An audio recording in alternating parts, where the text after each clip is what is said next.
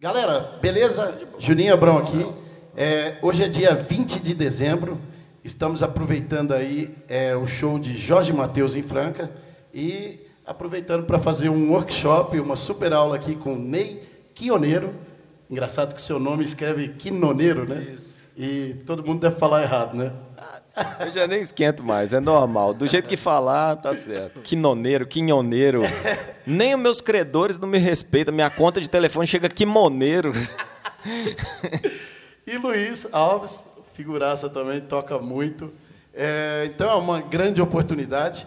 É, e eu preciso deixar uma coisa clara aqui, que eu até falei no vídeo, não sei se vocês viram, mas eu faço, eu promovo sempre esse tipo de workshop, eu aproveito sempre essas oportunidades.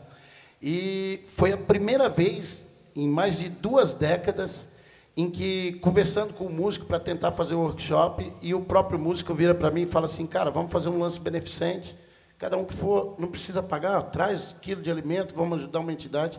Então, em primeiro lugar, eu queria pedir salva de palmas para esse cara aqui, que ele tem um coração gigante. E o Leonardo da Silva, de Franca, ele fez uma pergunta aqui que é o seguinte, ó, quais foram as suas referências tá, de bandas e artistas na música ou instrumentistas que influenciaram vocês a querer tocar o instrumento? Bom, a minha foi o Rafael Rabelo. Rafael, Rafael Rabelo foi o maior para mim, Eu de respeito todos. Começou, começou de baixo. Meu amigo é humilde, né? Só a maior, o maior violonista que já pisou na terra, na minha opinião. É, o meu primeiro estalo com música, cara, foi. Eu era pirralho, eu nunca esqueço. Porque eu estava brincando com meu irmão, eu devia ter uns 4, 5 anos. Eu estava correndo pela casa com meu irmão e a TV ligada, e eu passei na frente da TV e correndo começou o riff de Leila, do Eric Clapton. E a hora que pã, começou, eu parei na frente da TV e fiquei petrificado. Aí, a pro- aí começou a propaganda, não sei o quê, eu assim. Aí acabou a propaganda, saí do transe e voltei a brincar. Mas eu nunca mais esqueci aquele som. E eu sempre falava. Aí eu sempre ia tocar uma música. Nossa, a música tem o toquinho. Essa música tem o toquinho. O toquinho que eu queria ouvir era, era o solo de guitarra. E aí eu já gostava, desde então não sabia nem o que, que era e já era apaixonado em guitarra desde pirralho. Ah, depois eu fui gostar de Led Zeppelin, ah, Jimi Hendrix. Eu conheci Jimi Hendrix muito cedo e eu gostava muito desses sons, Scorpions, eu adorava Scorpions, Queen. É, e eu acho que por causa dessas coisas, Pink Floyd, eu quis tocar guitarra. Mas o primeiro estalo mesmo foi com Eric Clapton. Foi um susto. O nome que você falou, Rafael Rabelo, é, é triste saber que um cara com aquele nível de, de, de dom morreu Se foi tão cedo. É. É, Isso é verdade. Ó, segunda pergunta, o Vinícius Carilo, de Franca, que inclusive é professor lá da minha escola, só que não pôde vir porque carro de moto está todo arrebentado com a perna para cima lá. É, ele colocou aqui, ó, quais dicas vocês dão para os músicos que desejam construir e consolidar uma carreira musical e quais os meios ou caminhos que podem colaborar para um músico conseguir tocar com um grande artista como vocês tocam? Bom, eu acho que a primeira coisa é organização. Você, você tem que estudar de forma organizada, né? É, tudo isso que o Ney falou aqui, do, da forma como, como ele ensina né, o conteúdo, eu acho que tem que ser assim. Você tem que se organizar na vida e se, organi- se organizar como músico. Né? É, naturalmente, você fazendo isso, você vai começar a crescer, você vai se tornar uma pessoa melhor como músico e eu acho que como pessoa depende de você daí, né? Né, Eu acho que é importante isso. Eu acho que Organização. é- essa coisa de você tocar com artista X ou Y é consequência de tudo isso aí que o Luiz falou. Né? Eu acho que primeiro a preocupação é de você ser um bom músico, de você ser um músico completo, como o mercado exige. Né? O mercado exige muito de nós. Né? Você tem que você tem que saber harmonia, você tem que improvisar. Por mais que eu não improvise no show, eu não toco quase nada improvisado, mas eles querem lá um cara que quando precisar de alguém para improvisar saiba. Né? E isso acontece com todos. Lá no show eu toco da maior sol né, a vida inteira. Mas o dia que precisar de tocar um acorde, tocar um negócio mais complicado, eles querem que, que tenha alguém no grupo que esteja apto a fazer. E isso acontece com todos os artistas que eu conheço. Como, como em, em algumas ocasiões já, já aconteceu de, de, sei lá, chegar uma música para uma gravação importante uma hora antes da gravação. E a gente tem é. que anotar tudo, escrever tudo e, e ficou ah, no, Já aconteceu. No Altas Horas, na Sim. hora de começar a gravação, chegou o Serginho com o, o, o Jair Rodrigues, tinha morrido. Ele falou: Não, vamos ter que tocar uma música do Jair Rodrigues. É. então, assim, a gente tem que estar tá o mais bem preparado. Mas isso é muito óbvio. Né? Você você está por dentro de tudo que acontece na, em música e no seu instrumento é o óbvio. Isso aí é a obrigação. E aí, junto disso, é, pontualidade, é, responsabilidade. Né? Se fez um compromisso, cara, você não pode deixar na mão. Essas coisas também deveriam ser óbvias, mas não são. É, horário, por exemplo, lá onde a gente trabalha, se, se marcar 10 horas, tipo, marcou a saída 10 horas, cara, 9h59 o motorista entra no ônibus e liga. 10 horas ele fecha a porta e vai embora. Quem tiver dentro, bem, quem não tiver, amém. É. Então, assim, é, não é em todo lugar que é assim, mas a sua parte é cumprir o horário. Por mais que os outros não cumpram, a sua parte é cumprir o horário. Talvez você vai trabalhar num outro lugar, fala, não, aquele cara lá é ruim de horário. Acabou. Às vezes você, tá, você tem todo o resto e você perde um trabalho por uma, uma bobagem. Né? Então, esse tipo de coisa.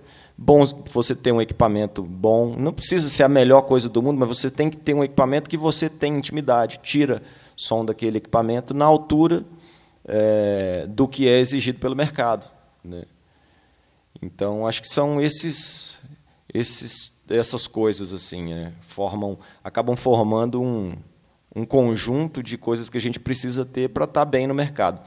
E você tocar com X ou com Y é um pouco de é, é um pouco de estar preparado para a oportunidade e um pouco de sorte também, né? E às vezes tem muita gente que tem tudo isso aqui e não tem a sorte de ser visto, né? Infelizmente. É bem por aí. Que é, ainda é melhor do que ter a oportunidade e não estar preparado para ela. Nossa. Nossa aí, é o é pior de tudo. Já pensou, você quer a vida inteira tocar com o Bruno Marrone. Aí um dia o Bruno Marrone vai te chama para ir lá fazer um teste e você não passa no teste porque você vacilou no, no dever de casa, no que deveria é. ter feito nos anos anteriores. O cara fala, faz um sol aí, agora joga uma sétima maior que eu vou tocar vida vazia. Ele, não, a sétima maior eu não sei. É. Não dá.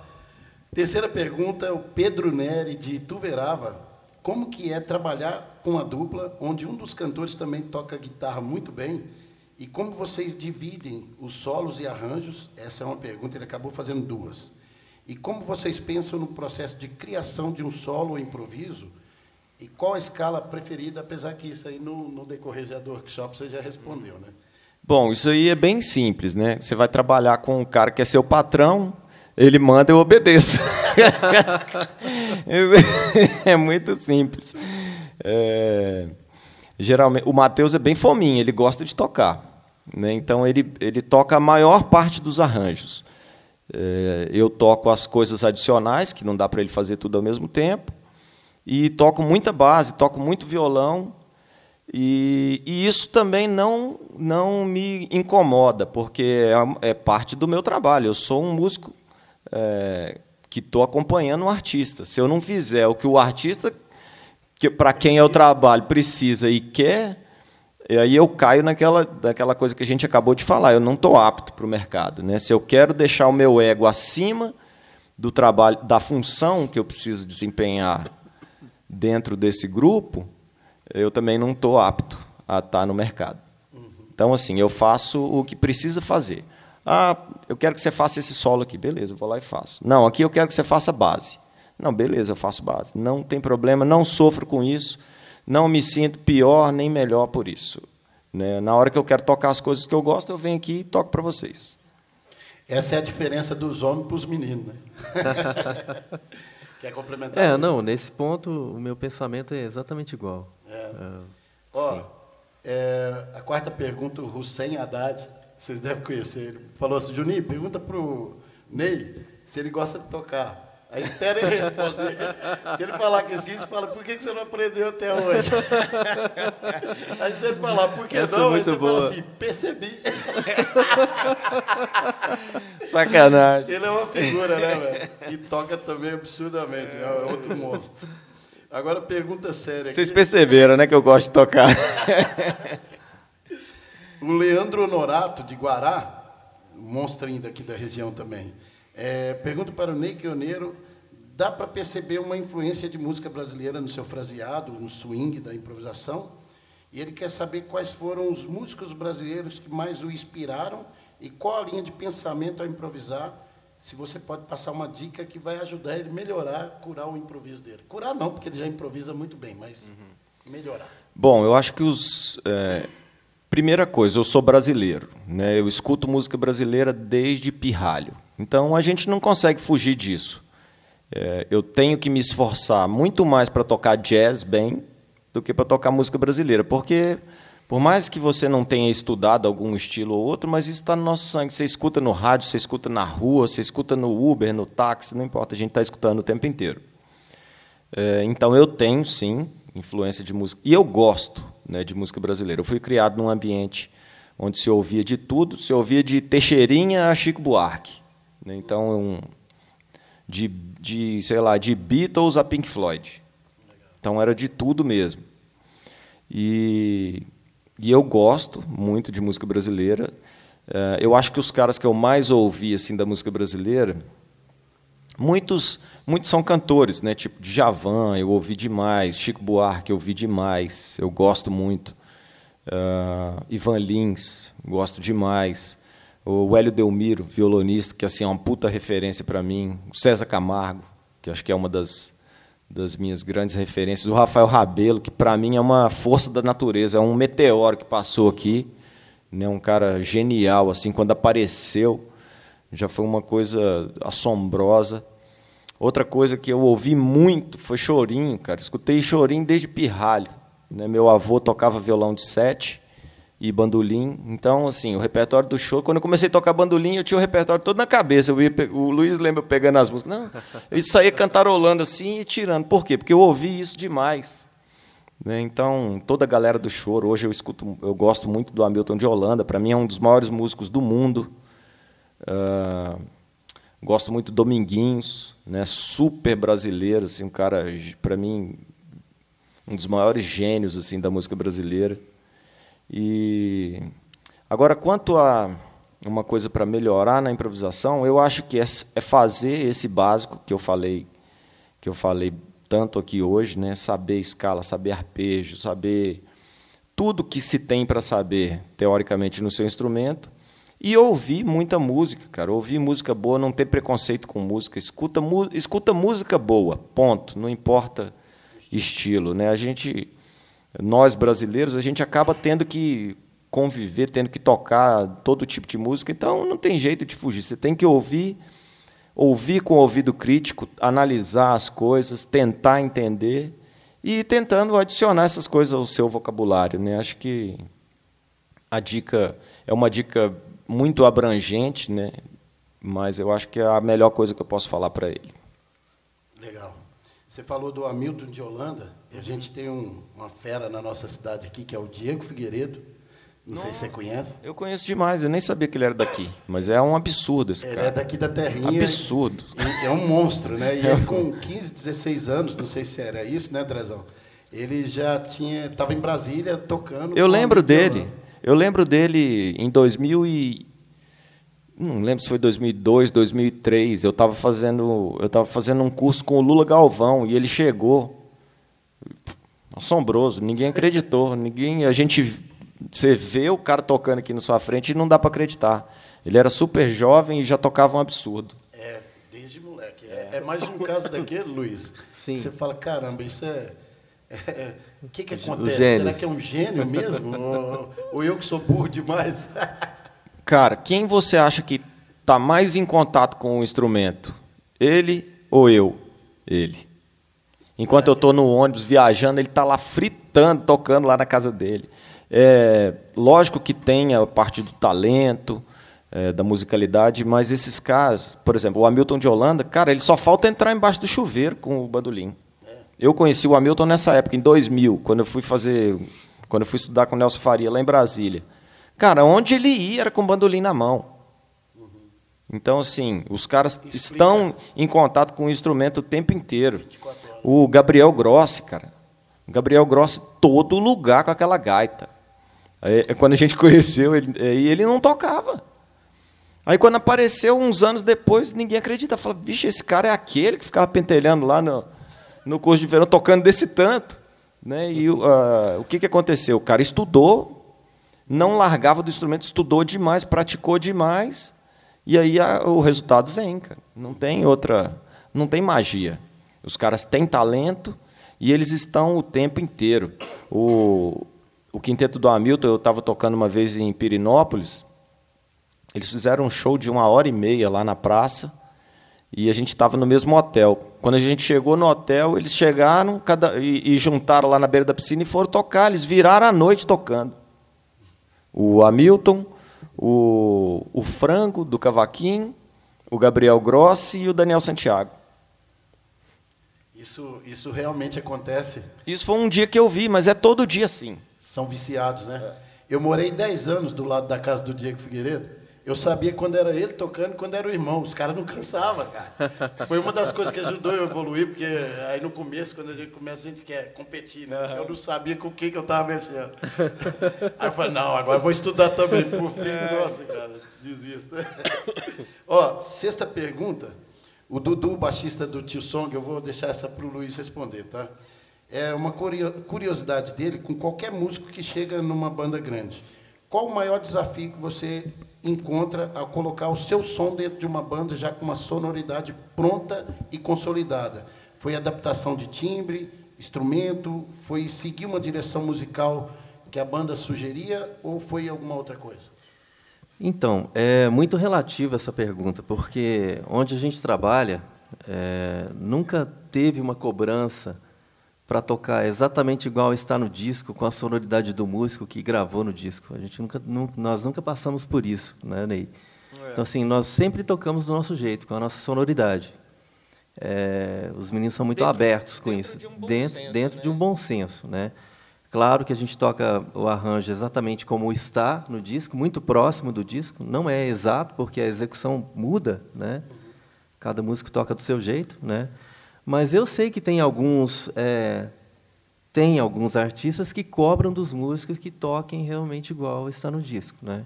A gente não passa por esse problema. Então, assim, é relativo. Verdade, Essa pergunta, é um problema, né? É, não é problema isso, né? A gente tem um pouquinho mais de liberdade. Né, é. A gente, trabalha. a gente toca do nosso jeito dentro do arranjo isso, e pronto. Legal.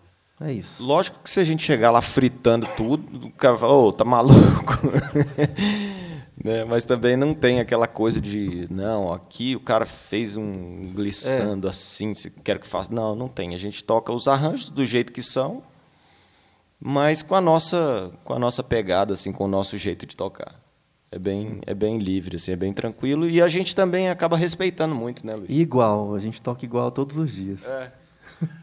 Tocar com o Luiz é bom demais. Dei muito certo de tocar com ele, porque ele toca os arranjos, as divisões dos violões, é sempre igual. A gente toca sempre igual. É, é tranquilo.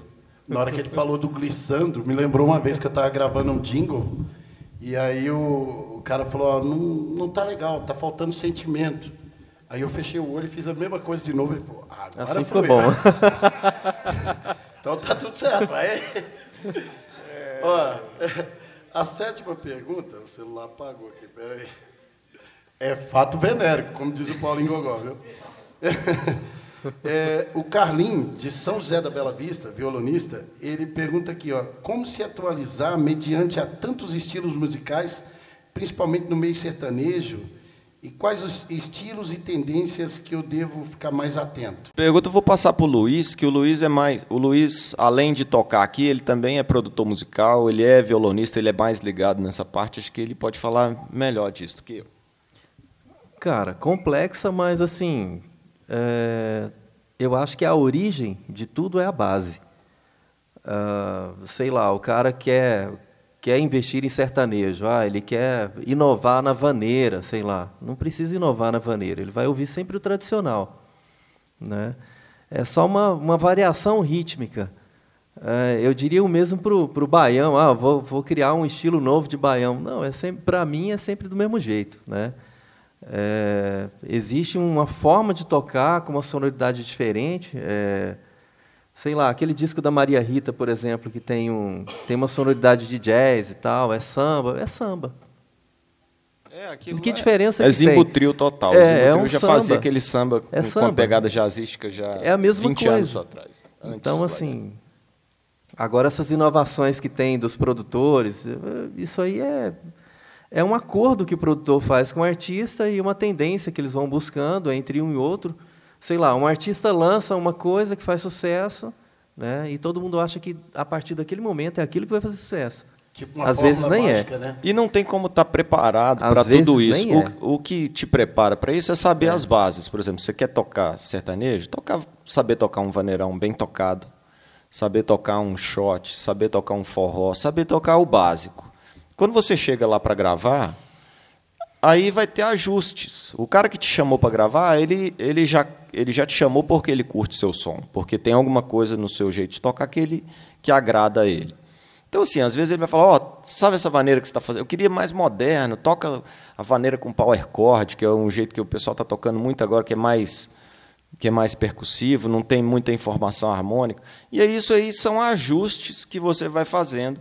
Se você toca um vaneirão tradicional bem feito, você vai conseguir atender o produtor lá na hora da gravação. Então, assim, é a base bem feita e você ser maleável, você saber se adaptar na hora, porque não tem como prever tudo. Por exemplo, agora começou esse negócio da bachata, bachata, bachata, sei lá. É, cara, são poucos que sabem tocar isso aqui no Brasil, né? Então já tem uma galera estudando o estilo, se especializando, mas há um ano, sei lá, um ano não, mas há dois anos atrás ninguém tocava esse negócio aqui não. Hoje tem o Reinaldo, né? tem o João Paulo, o Marcos Paulo também, que é uma galera que já está arrebentando. Por quê? Porque os caras viram que o negócio vai. vai Virou tendência, né? Virou uma tendência, os caras estão estudando, estão investindo nisso. Daqui a um dia ninguém mais vai gravar. Os, os gringos vão vir gravar com eles, porque os caras são incríveis. Com certeza. Né? Então é esse tipo de coisa. Eles anteciparam o movimento. Inclusive, o último vídeo que a gente fez nessa onda aqui foi com o Reinaldo Meirelles. O Ligeirinho. Que eu sou fã, eu chamo ele de Ligeirinho. Tá louco, o cara toca muito. Ligeirinho. É. Dia do rápido demais da Nossa, Nossa demais. E desde moleque também, eu estava falando com o Luiz, é. você vê os vídeos dele, que ele, to... ele, tinha 15, 16 anos, já tocava monstrão, né? É. Absurdo. É. Ó, estamos acabando, viu, pessoal? É, o Fábio Oliveira, de Guararapes, esse está longe, hein? Esse está longe. Estive, nós estivemos lá duas semanas atrás. É, eu morei do lado lá, em Araçatuba. É, como que você analisa o cenário musical, vocês, tá? Como que vocês analisam o cenário musical sertanejo com a evolução das produções, arranjos, essas misturas de ritmos e etc.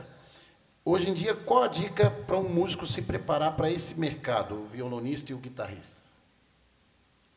Eu acho que é isso que a gente acabou de falar. É meio que uma é, pergunta. Eu acho que é, eu acho que é isso que a gente acabou de falar. É você ter uma base sólida, você saber os ritmos primordiais, é, leitura, né, não não é a maioria dos produtores, mas alguns você tem que chegar e ler e, e você saber, porque é, o músico de estúdio tem um, tem, a gente tem um segredo que é para você se dar bem no estúdio, que é o quê?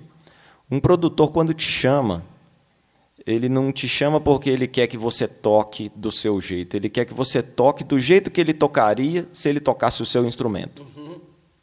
Entende? Ele quer. ele quer, ele quer que você traduza a a concepção que ele tem do seu instrumento. Então, acho que o, o segredo é esse: é, é, você ter uma base sólida e você ser maleável e saber interpretar o que o produtor quer de você. Você, você tocar como se o produtor fosse tocar se ele fosse instrumentista daquele instrumento.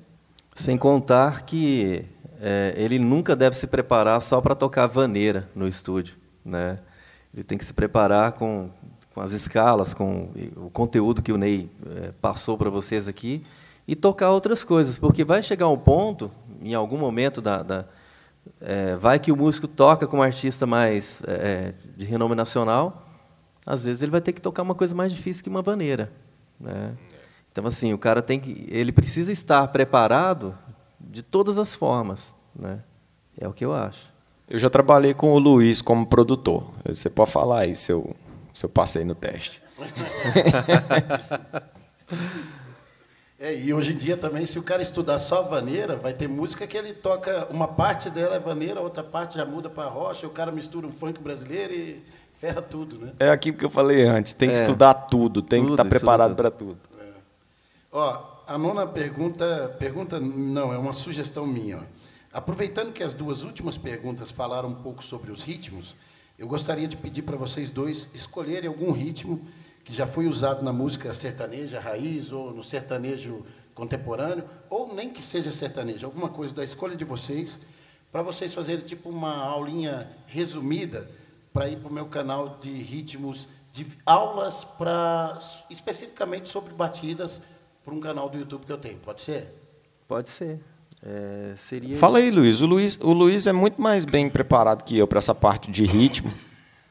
É, Escolhe aí e fala alguma coisa. A gente, de repente, poderíamos é, fazer sobre um frevo e já tocar a música. Falando sobre o ritmo, o frevo, é, de forma bem, bem básica mesmo. É, o frevo, é, ele replica a forma da caixa. Né? Então...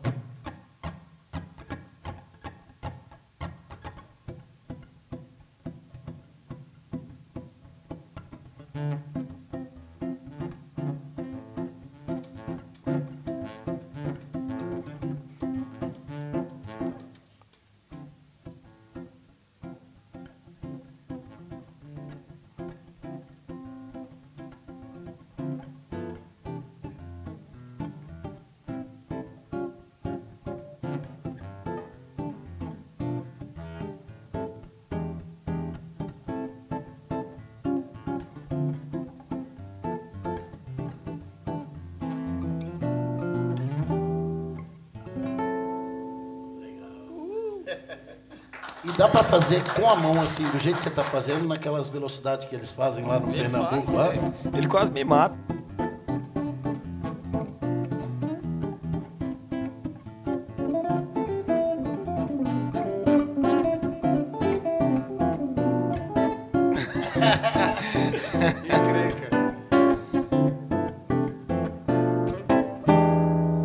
O Guilherme Dória, de Patrocínio Paulista, ele quer saber aqui, ó. Qual a dica que vocês dão para quem quer viver de música nesse mercado aí? Estudar. Não existe uma formulazinha mágica diferente, assim, mais fácil, um atalho? Se tivesse, eu estava no cinema. é, na verdade, eu acho que volta em tudo aquilo que a gente já falou antes, de, da preparação. Né?